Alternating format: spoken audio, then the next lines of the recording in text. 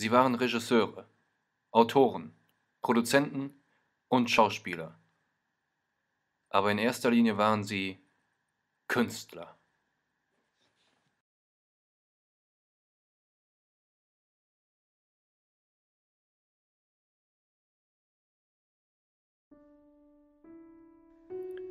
Jan Issel und Mortimer Pfaff starben im Alter von 85 und 88 Jahren in ihrer gemeinsamen Wohnung in Wuppertal.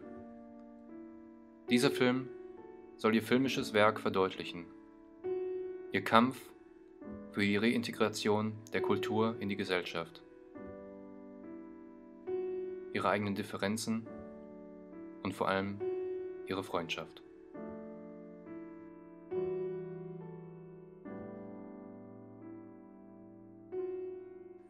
Jan Issel und Mortimer Pfaff lernten sich 2008 in Wuppertal kennen. Sie wussten nicht, dass sie ab jetzt einen gemeinsamen Weg beschreiten würden. Ihre ersten Filmversuche waren gewagt und grenzwertig, aber ihr Stil unverkennbar. Man muss es noch ins Lächerliche ziehen. Mhm. Dann werden die Menschen aufmerksam. Ja. Dann werden die Menschen aufmerksam. Weißt du, diese ganzen äh, Gabbana und deutsche Gürtel, die da draußen rumlaufen, ne? Mhm. Mit diesen ähm, Lacoste-Taschen und allem möglichen. Mhm. Genau die. Mit denen, die sehen das nicht ein. Man kann denen sagen, was man will. Ja. Verstehen Sie? Erschaffung einer besseren Menschheit, die logischerweise hier in Deutschland anfängt. Da ich mich nicht so gut mit anderen Kulturen auskenne. Lifestyle. das, das ist ein Job. Das ist ein Job. Und ähm, das ist, was Morty früher hier gemacht hat. Also gearbeitet, gut gearbeitet, hier mal ein gewisser Touch an Stil auch reingebracht. Ähm, Gian auch, natürlich auch Full of Style. Stil reingebracht. Klar, man hat auch gerne Gäste gehabt, die auch stylisch sind, ne? die auch äh, die Szene ausmachen. Als der langjährige Freund von Jan Issel und Mortimer Pfaff, Tom Cruise, vom Tod der beiden erfuhr, löste er in der Fernsehshow Oprah einen Skandal aus. Was that the best fun? Was that? Yes, yes. What has happened to you?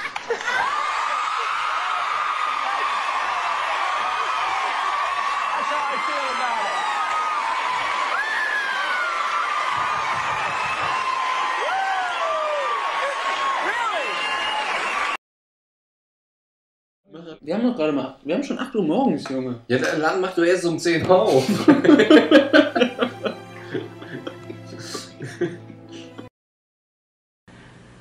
Well. Ähm. Ja. Mm, I, I don't think so, no. I felt that All ihre Kunstwerke waren bestimmt äh, there was an opportunity for sehr und ähm, im Großen und Ganzen bin ich äh, auch der Meinung, dass sie in dem Jahr von den Jahren 2011 bis felt that it was 2090 wirklich Großes geleistet haben für den deutschen Film, aber auch insgesamt für den Film weltweit. Sie haben, äh, ich meine, sie haben eine neue Ära eingeläutet, die Hollywood-Ära neigte sich ihrem Ende. the right to in view of Und an diesem, in diesem Zeitpunkt kommen zwei ähm, so junge Männer und verändern das Filmgeschäft maßgeblich mit ihrer Kunst, mit ihrer Sicht der Kunst, ihre Perspektive. Klar kann man ihnen vorwerfen, dass sie, ähm, ja, wie soll man sagen, den, den äh, sozialen Hintergrund und die Aussage nicht mal in den Vordergrund gestellt haben, was mir persönlich äh, sehr gut gefallen hat. Sehr, sehr gut. Aber auch im Großen und Ganzen schätze ich mal, dass ihre Kunst einfach dieses Spaßige, dieses Intellektuelle, aber auch ein wenig die Ernsthaftigkeit dahinter. Ähm,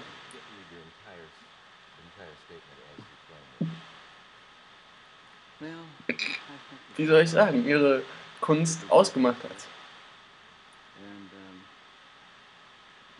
Und genau aus diesem Grund glaube ich, dass diese beiden wirklich die größten Künstler waren. Nach ihren ersten Erfolgen mit Soll ich jetzt weinen und The Replay Experience und ihrem unglaublichen Improvisationstalent fingen Jan Issel und Mortimer Pfaff mit einem Projekt an, das sie schon lange vor Augen hatten. Eine Sitcom. Merda, du hast kaum noch Shampoo. Ach, und ich habe dein Nagelcremster kaputt gemacht. Ich werde noch verrückt. Sieht furchtbar aus. Komm rein. Danke. Und los. Nein, Lisa. Guck mal, Pfauen, ne? Die haben nicht wirklich tausend Augen. Das sind die Muster auf den Federn. Ach so. Ja? Ja. Ja.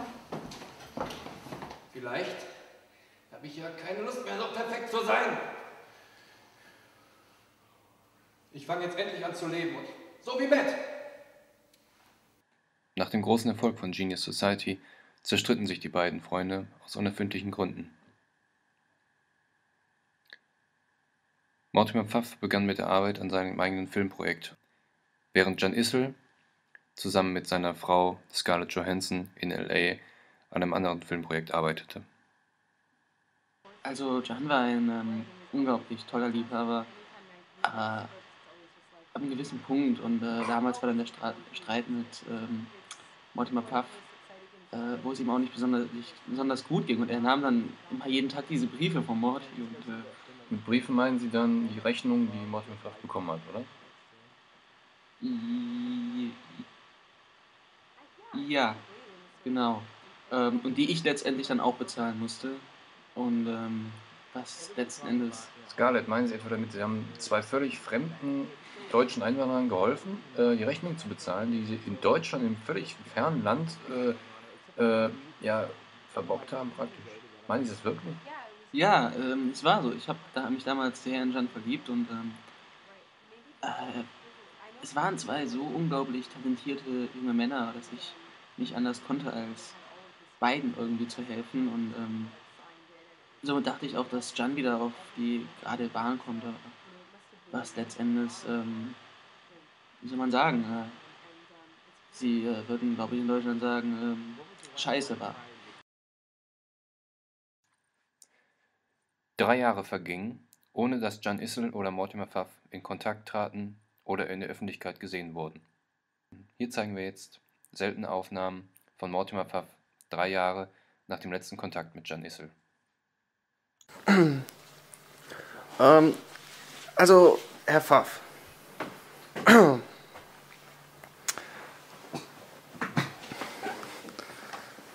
ähm, wir sind ja sehr froh, dass Sie äh, mit Ihnen dieses Interview kriegen konnten.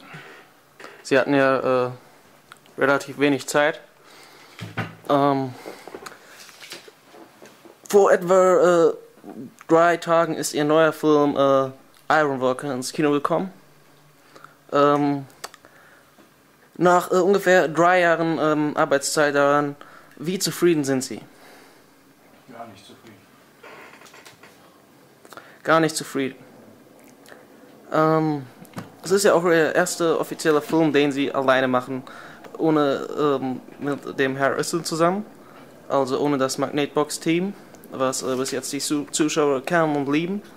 Ähm, wie genau, äh, Sie haben Ironworker, wie gesagt, zum ersten Mal, war es Ihr erster Film, den Sie alleine gemacht haben, ähm, und Sie sind überhaupt nicht zufrieden. Bis jetzt waren die Kritiker ja auch äh, sind sehr hart mit ihnen ins Gericht gegangen. Ähm, man hat gesagt, es war äh, der schlechteste Film seit äh, Transformers 3. Ja. Ähm, was genau äh, können Sie uns denn dazu sagen? Was waren Ihre Absichten eigentlich mit diesem Film und äh, wie hat, die, hat Ihnen die Arbeit alleine gefallen? Mir gar nicht gefallen. Lief auf jeden Fall nicht. Lief nicht gut. Ähm, jetzt gerade sind Sie ja in Ihrer, äh, ja, Psychologen würden sagen, die äh, Slim Fast Phase. Allzeit bekannt bei Ihren künstlerischen Leuten. Ähm, Wie kommt's? Wie kommen Sie damit klar und äh, was bringt Ihnen das genau? Bring mich runter und ich sage gesund. Aber Sie sehen nicht sehr gesund aus in letzter Zeit. Warum nicht? So auch äh, wie ähm, Eva Green schon gesagt hat, äh, dass äh, nachdem sie sie vor ein paar Tagen, ja, sie hat sie doch vor ein paar Tagen verlassen, ähm, sie war nicht sonderlich begeistert, äh, wie sie sich verhalten haben. Sieht ja selber nicht besser aus. Hm? Soll mal die Klappe halten. Well, Mortimer was always, he was a fighting Mortimer. Pfaff war wahrscheinlich, ähm, Uh, also ich glaube, er war einer der großartigsten Männer, die ich kennengelernt I habe. Und ähm, I im Endeffekt äh, hatte ich das Gefühl, er wird wahnsinnig. I always thought that, uh, he Er war, was eine, er war ein, ein sehr gut angezogener Mann. Immer perfekt angezogen. Aber im Endeffekt hat er mich schwer enttäuscht. Es war ähm, nach meinem Date mit Tom Cruise und äh, das war zum Zeitpunkt, wo er dann wirklich langsam den Verstand verloren hat. Also Eva Green, ähm, mit dieser Person haben sie schon abgeschlossen. Haben sie nicht? Und was glauben Sie genau, äh, wird sie irgendwann wieder zusammenbringen oder wie sehen Sie das? Gar nichts. Also ich meine, ich weiß, ihr, ihr Schauspieler mögt und ihr Regisseur mögt solche Fragen nicht, aber ähm, ein bisschen Publicity äh, will ja wohl jeder haben. Äh, reden Sie doch mal mit Eva Green und warum hat es am Ende nicht funktioniert? Eva war äh, mit meinem Arbeitsstil nicht zufrieden. Nicht zufrieden. Nein. Also, woher könnte das rühren? Ich weiß es nicht. Ich habe meine Arbeit gemacht. Und drei Jahre sind immerhin eine lange Zeit. Aus welchem Grund haben Sie sich denn mit dem Herr Rissel zerstritten? Ja, das lag ähm, an dem äh, an unserem Verhältnis. Also bei, bei Magnetbox ging das noch alles, aber ähm, als ich dann meinte, ich möchte Iron Worker alleine machen, weil das meine Idee ist, dann, ist er halt ausgerastet. Ne? Was letzten Endes ja auch nicht so ganz gut funktioniert hat für Sie. Ja, anfangs ging das. Aber im Endeffekt, äh, ja, es ist halt mm, eine Erfahrung, die man so macht. In nächster Zeit ähm, haben Sie denn schon wieder Kontakt mit dem Herr Rissel aufgenommen? Nee, aber ich plane das, weil ich möchte das erstmal mit Eva klären. Ja. Und, ähm, äh,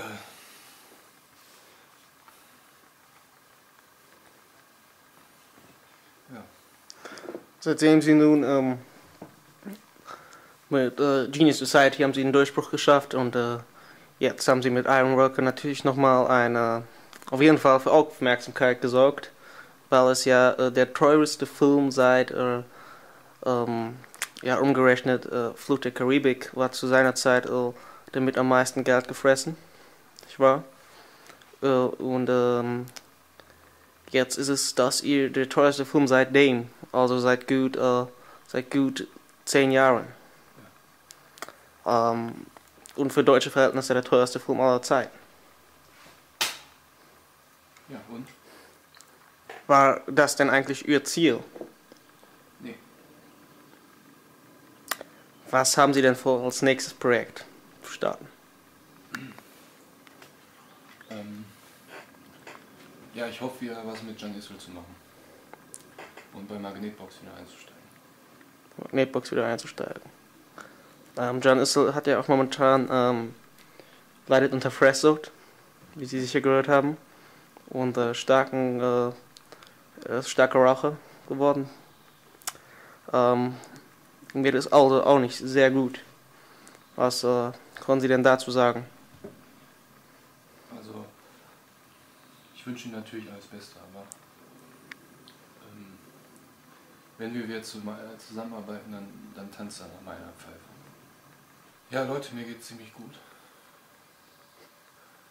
Ich fühle mich eigentlich besser als vor, vor drei Jahren. Und ähm,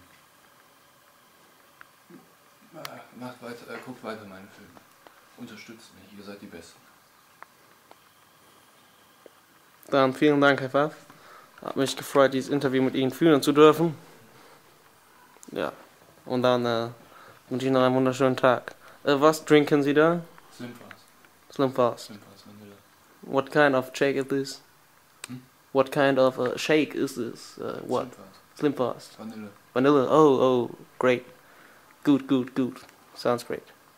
So, um, then uh, keep on, ne, uh, keep on doing. Uh, machen Sie weiter so und uh, uh, kommen Sie schnell wieder um, zurück nach Ihrem letzten Film. Sie sich nicht zu einer langen Auszeit. Okay. Wo wünschen Sie sich denn in zehn Jahren zu sein? Hier. Genau hier in Ihrem Büro. Hier, wo alles, wo alles stattfindet. Hier, hier passiert alles. Hier, hier kommen meine Ideen aus dem Kopf. Das ist interessant. Zeitgleich mit Mortimer Pfaffs Abstieg erlebte auch John Issel seine schwerste Zeit. Hier zeigen wir Aufnahmen bei ihm zu Hause während seiner schweren Fresssuchtphase. Ähm, Herr Issel, äh, es sind jetzt drei Jahre vergangen seit Ihrer letzten Zusammenarbeit mit äh, Mortimer Pfaff, der jetzt gerade sein eigenes ähm, Filmprojekt beendet hat.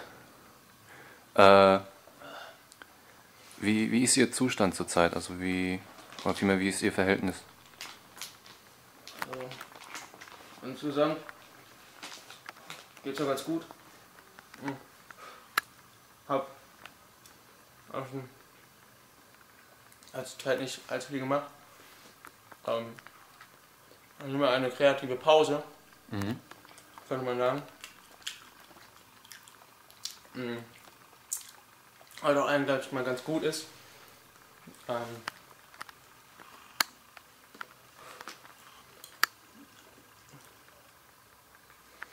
ähm, mein letztes Projekt. Ähm, Three Nights, drei Nächte äh, auf. Ganz großer Erfolg, weil man halt so ein, mh, Wie, wie, so ein ähm, Publikumsliebling, ne? Ja. Habe ich mal was für die Masse gemacht. Wie kommen Sie äh, ohne, ohne Mortimer Pfaff zurecht jetzt? Es wurde immer angenommen, dass äh, Filme eigentlich nur ähm, ja, mit Ihnen beiden möglich sind.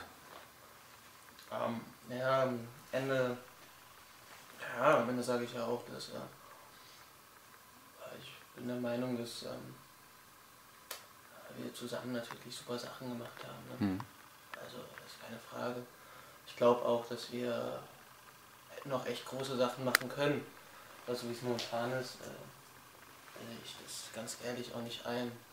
Also, ich meine, der, der Morty, der Puff, ähm, oder Mr. X, wie wir ihn jetzt auch nennen wollen, ähm, hat ja auch äh, hat ein paar Fehler gemacht einfach und äh, ich meine, ich habe natürlich auch falsch reagiert, aber am Ende, ja, wissen Sie, ich glaube, ich finde irgendwie äh, meinen Weg. Also ich bin,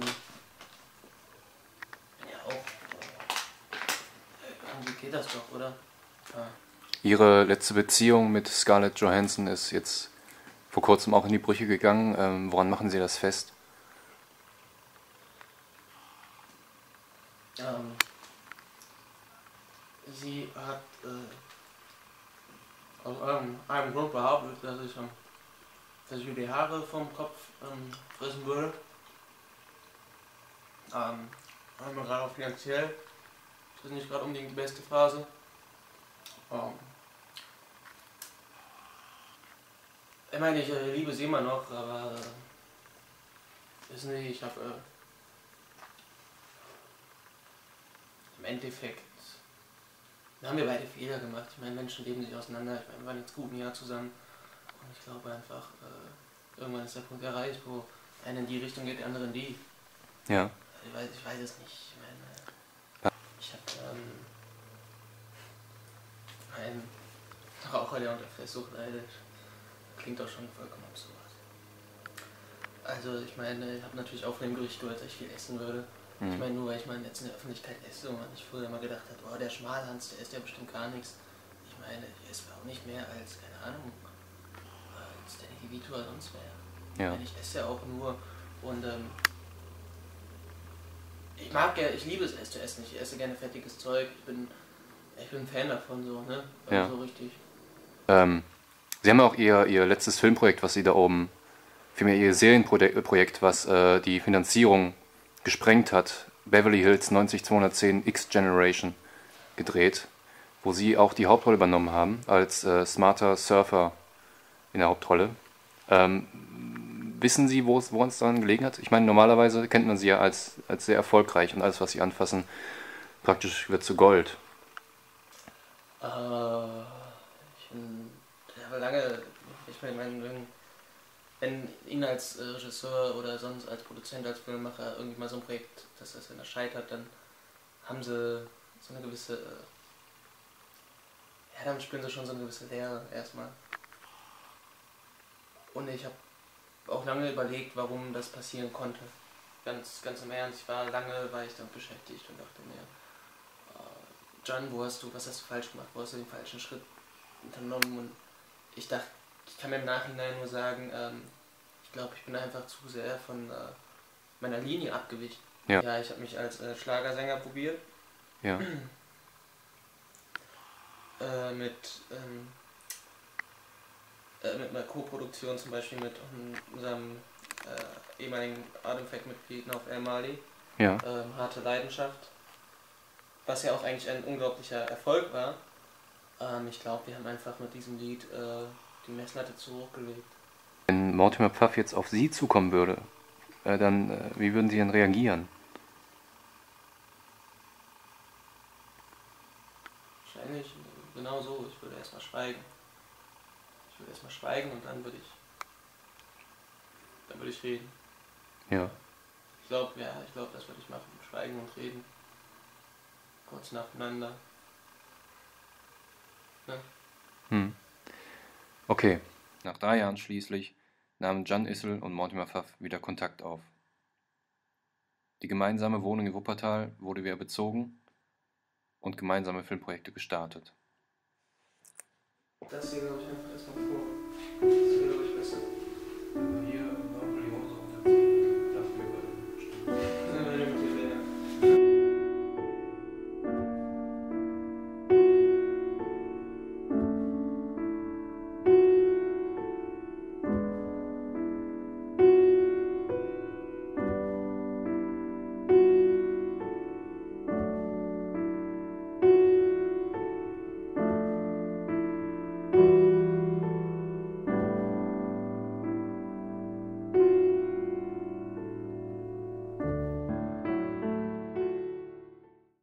Der Wiederaufnahme ihrer Tätigkeit folgte 2032 der skandalöse Auftritt bei Oprah.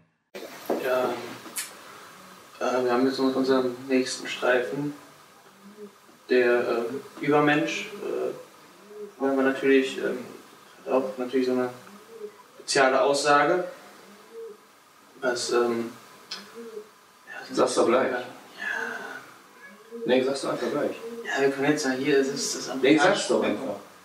Ja, okay, wir wollen natürlich, ähm, Sag doch einfach, dass wir die weiße Rasse wieder so darstellen wollen, wie es eigentlich auch in unseren Augen ist. Genau, als die, als die Überrasse eigentlich. Ne? Als den Übermensch. Ähm, das Ganze natürlich so ein bisschen. Ja, es ist ja schon nicht direkt das. Wir machen uns natürlich auch ein bisschen lustig darüber. Ne? Ja, du vielleicht. Ich. Du vielleicht sagt er, ja, das ist. Das ist der Humor von meinem äh, Kollegen. Nee, ich bin jetzt 40 und. Und, äh. Warum soll ich da. Wir haben unser ganzes Leben lang nur Humor gemacht. Ja, es ist halt auch eine ernste Sache, aber wir sind ja nicht direkt. Ja, okay, du hast ja recht. Letzten Endes wollen wir das. Wir wollen einfach mal so einen Film, der sich einbrennt in die Köpfe. Wir sind laut, laufen natürlich Gefahr. Ich meine, aus Cannes wurden wir jetzt schon ausgeschlossen. Cannes 2031 sind wir nicht dabei. Aber äh, damit müssen wir jetzt leben. Und ihr wisst ja, was, was Kant im Englischen bedeutet. ne? Das heißt Fotzen. Ja. Deswegen wollen wir nicht hin. Das ist kaputt Quatsch. Ich meine, ähm, Ich hab keinen Bock mehr auf die Scheißshow. Jetzt gut. nee, peace out.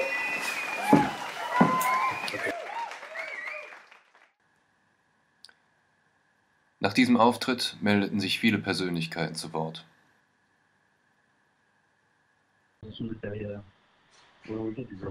Ja, am Ende würde ich sagen, dass beide das Filmgeschäft, ähm, also Mortimer Pfaff und John Issel,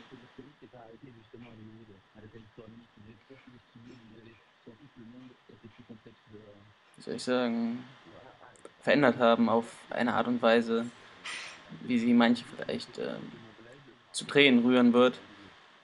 Und ähm, sie sind wirklich ähm, beide absolute Könner in ihrem Gebiet, was mir auch ähm, stark aufgefallen ist, zum Beispiel als wir an Der Übermensch zusammengearbeitet haben. Ja, äh, ich glaube, dass ähm, beide, beide wirklich einiges für den deutschen Film, aber ähm, vor allem für den, für den gesamten Film auf der ganzen Welt, für wirklich jede einzelne Ebene des Films geleistet haben. Ja, ja. Ähm, manche sagen ihr nach, dass sie äh, vielleicht zu viel Spaß reingebracht haben und den sozialen Hintergrund und die Aussage nicht so den Vordergrund gequetscht haben. Ähm,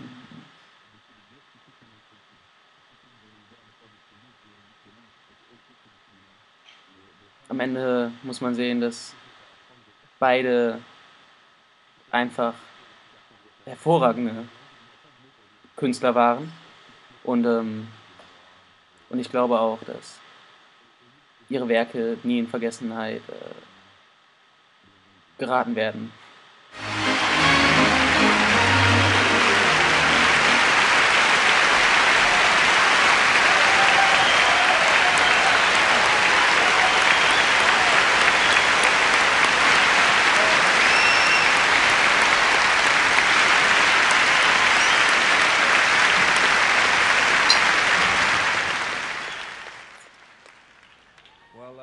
Ähm, ich möchte heute Abend äh, vier Personen danken. Und zwar meiner Frau, meiner Tochter und äh, zudem zwei deutschen Filmemachern, äh, nämlich Jan Issel und Mortimer Pfaff. Ich habe sie hier äh, in Hollywood kennengelernt, als wir an der Tafel standen und mal wieder kein Nichts zu essen hatten. Und ähm, ich lernte sie dort kennen und äh, wusste sofort, dass es Talente waren. Ähm, ja, ich äh, bin absolut begeistert von ihnen, von ihren, von ihren Filmprojekten, äh, die sie äh, mittlerweile auch in Amerika gestaltet haben. Und ähm, ich möchte mich an dieser Stelle nochmal herzlichst bei Ihnen bedanken, dass Sie auch mich jetzt hier vorne hingebracht haben. Vielen Dank. Nach dem Auftritt bei Oprah nahmen sich John und Mortimer eine sehr, sehr lange Auszeit. Erst im hohen Alter bekam man sie wieder zu Gesicht, mit diesen exklusiven und sehr, sehr seltenen Aufnahmen privat bei ihnen zu Hause.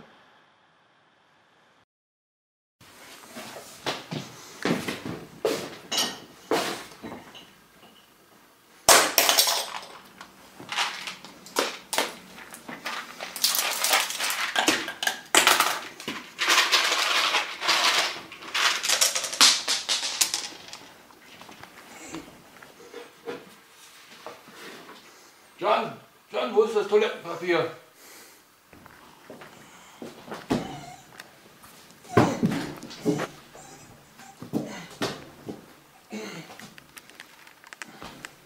John!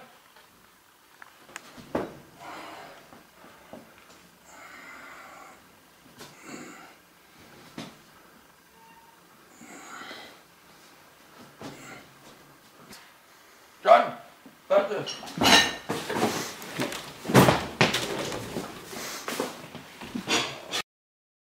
Im Jahre 2070 entstand John Issels und Mortimer Pfaffs letzter Film The Old Guys.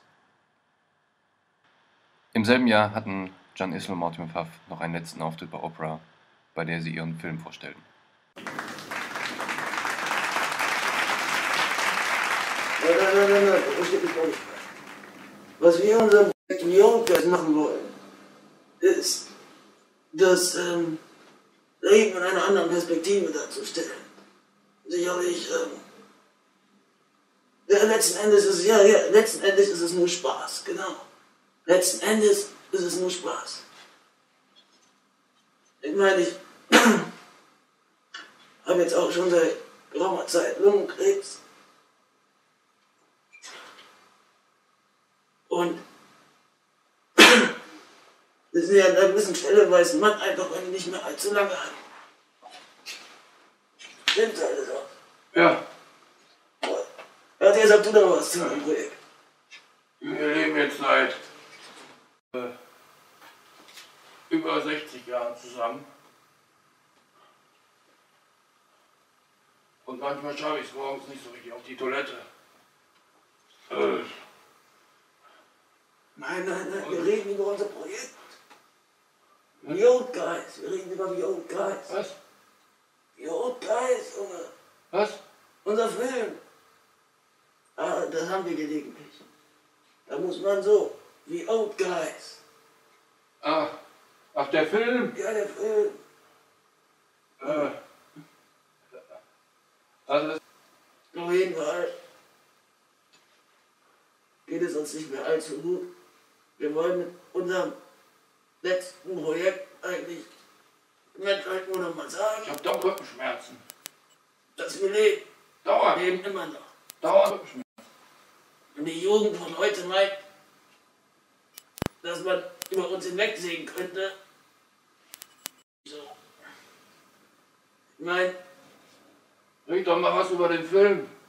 Old Guys. Old Guys, Old Guys. wie Old Guys. Der Film, Mhm. Nee, aber, den wir gemacht haben. ich weiß Der nicht. Film. Jan. Der Film. Wie Old Guys. Was?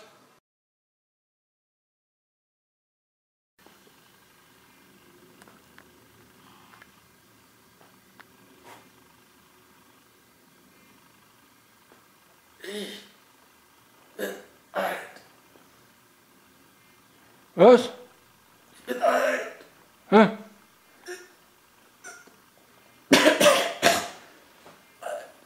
Was? Ich bin alt.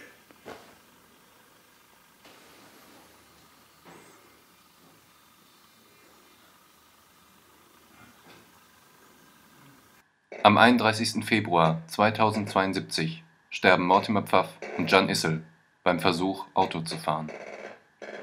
Sie hinterlassen eine riesige Fangemeinde und eine Kultgemeinschaft, die bis heute anhält.